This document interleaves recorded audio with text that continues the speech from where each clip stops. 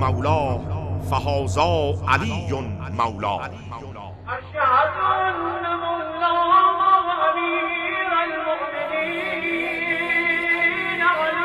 ولي الله.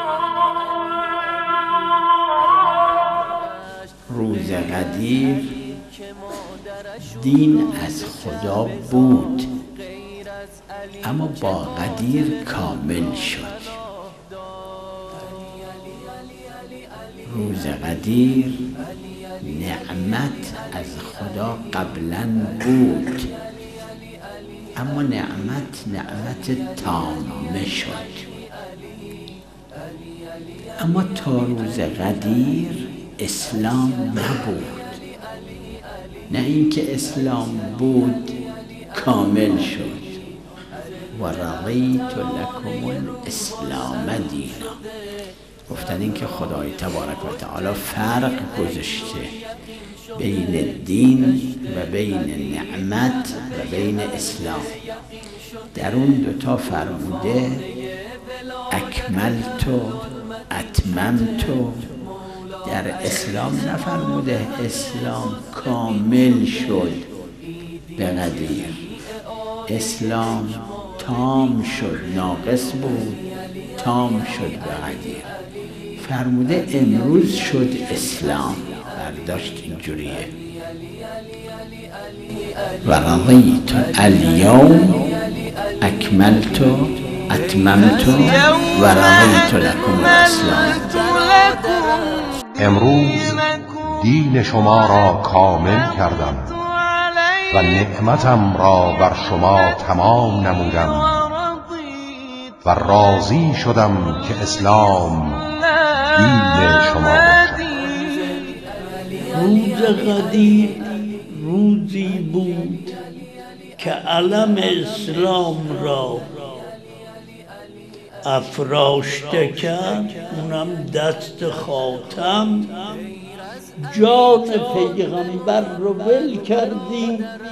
کسی را به جای پیغمبر نشوندید که خود اون می‌گوید عقیلونی عقیلونی و لست به خیره من از شما بهتر نیستم.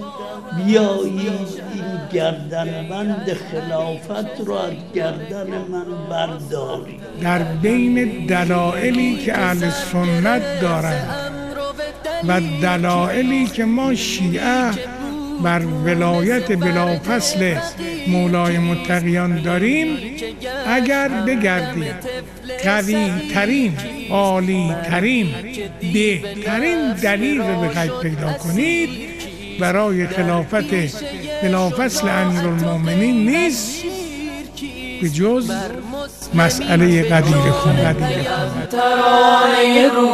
احیای سفره احسان امیر المؤمنین علی علیه السلام در روز قدیر دشت قدیر کعبه اهل یقین شده گلخانه ولایت حبل المتین شده. مولا علی امام همه مسلمین شده. حضرت امام رضا علیه السلام فرمودند من اطعم مؤمنا کان کمن اطعم جمیع الانبیاء و صدیقین. هر کس در آن روز روز قدیر مؤمنی را اطعام کند مانند کسی است که همه انبیا و صدیقین را اطعام کرده باشد بود از همسرش غیر از علی که داد خدا فتح خیبرش غیر از علی که بود نبی مد گسترش غیر از آیا می دانید که مشارکت شما در این حرکت مردمی چه برکاتی را به دنبال خواهد داشت؟ یک توسعه روزی و برکت در اموال. دو رسیدن به هوایج و برطرف شدن مشکلات دنیوی و اخروی. سه انجام وظیفه برای تبلیغ قدیر طبق سفارش پیامبر اکرم صلی الله علیه و آله به روش اطعام. چهار مشمول دعای خاص پیامبر اکرم صلی الله علیه و آله طبق فرمایش آن حضرت که فرمودند اللهم وال من والاه وانصر من نصره. پنج ازدیاد محبت امیرالمؤمنین علی علیه السلام در قلوب مردم. شش ترویج سنت حسنه اطعام به سفارش اهل بیت علیهم السلام خاصه حضرت علی ابن موسی رضا علیه السلام. عید قدیر سه روزه. در این سه روز آداب و مراسم خاصی آمده. من جمله از آداب خاصه که تعظیمی هست و از جزء شعائر حساب میشه اطعام روز عید قدیره. که در بلاد مختلف شیعه مرسوم الحمدلله در سالهای مختلف روز به روز داره بیشتر میشه. حتی در بعضی بلاد می‌بینیم مثلا در یک خیابان 110 دیگه آش زدن به عدد علی سلام الله علیه. علی علی علی علی علی علی جان زنده از ترانه روح یکی از سنتهای سفارش شده در عید قدیر پذیرایی کردن از مؤمنین و تعام دادن به آنهاست امام حسن علیه السلام در عید قدیر غذا تهیه می کردند و مردم را برای صرف غذا به خانه خود دعوت می نمودند. اطعام کردن در اون روز و هدیه کردن و من جمله انفاق کردن مال در اون روز ثوابهای عجیبی براش ذکر شده از اطعام یکی ید الله مع الجماعه است که دوستان و محبین امیر علیه السلام به واسطه این اطعام کنار یکدیگر جمع میشن. اطعام فقراست کنار اینها هدیه دادن به همراه اطعام است. ذکر فضائل و مناقب اهل بیت علیهم السلام کنار اطعام است. این اطعام رو در روایات که سید ابن تاووس و علامه مجلسی علیهم الرحمه نقل کردن برای هر درهمش آلاف درهم حسنه براش نوشته میشه در مقابل اینکه آلاف درهم در راه خدا خرج کرده. چون به فرموده خود امیر علیه السلام به فرموده حضرت صادق علیه السلام که شیعیان ما یکی از صفاتشون اینه یفرحون لفرحنا.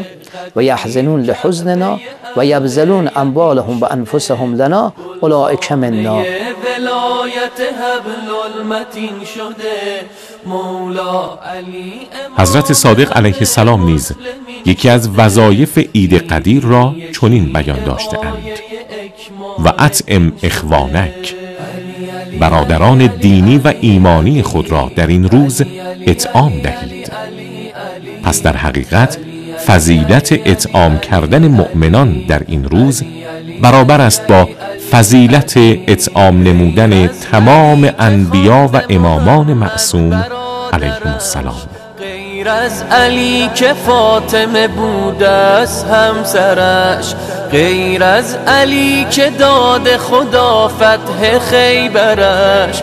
غیر از علی که بود نبی مد گسترش غیر از علی که زیر لباه است محشرش. غیر از علی که زینب کبراست دخترش غیر از علی که مادرش او را به کعبه زاد غیر از علی که قاتل خود را پناه داد علی علی علی علی علی علی علی علی علی علی علی علی علی علی علی علی علی علی